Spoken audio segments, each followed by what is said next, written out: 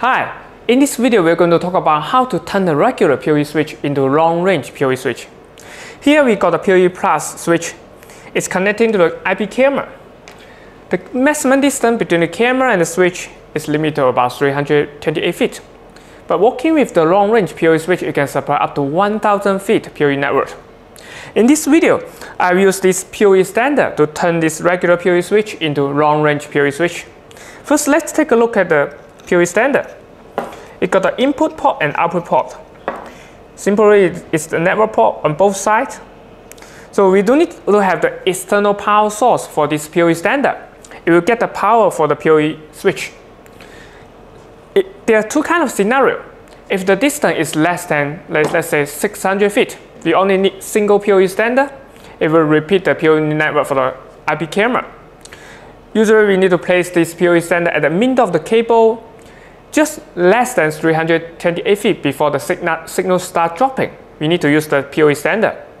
We cannot place the PoE extender at the beginning or at the end of the camera. It will not work because the TCP/IP network is only limited to 328 feet. Okay, the second kind of scenario. Let's say if the distance is beyond 600 feet, it's about 1000 feet. In this case, one PoE extender is not enough. We need to have two PoE extender working together to achieve up to 1000 feet network connection.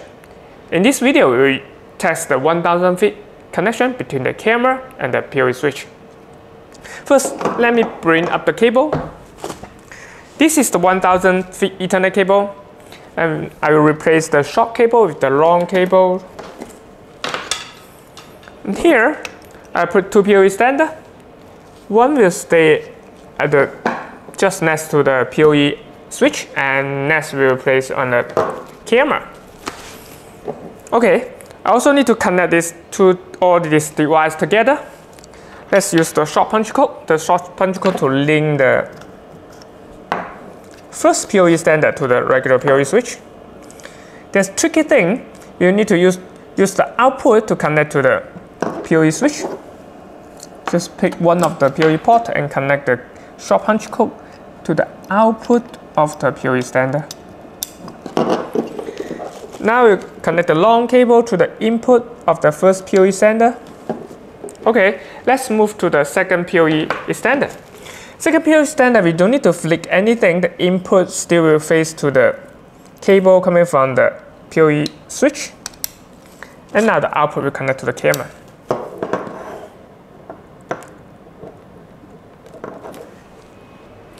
The setup is a little bit tricky. We need to flick the first PoE extender. Eventually, we got input phase to input. And there have 1000 continue run between the first PoE extender and the second PoE extender. You can place the this extender both sides. I turn the camera's live now. We use this one pair PoE extender to have 1000 feet continue run Ethernet PoE network. If we need second long run, we can have another PoE extender, these two pair, and working with the second port from the regular PoE switch. This PoE extender can combine SNAT. It's quite easier to place the PoE extender on top on the top of the regular switch. At the edge, you also can use this DIN rail mount and the wall mount bracket. Just put the PoE extender inside and roll the PoE extender on the mount on the wall. There's one thing, it's about the power. As I just mentioned, this PoE Plus can output 30 watts through a single port. And it will be still enough if we work with the small IP camera. What if we need to work with the large high power pan-tilt zoom camera? The power consumption could be the issue. The 30 watt, one we, are we mentioned about PoE Plus, it's limited to 328 feet. Now, we just extend the PoE up to 1000 feet. There are more power loss during the, during the transmission. In this case, we can use the high power PoE injector. This is the 90 watt high power PoE injector. Let me just get the PoE injector.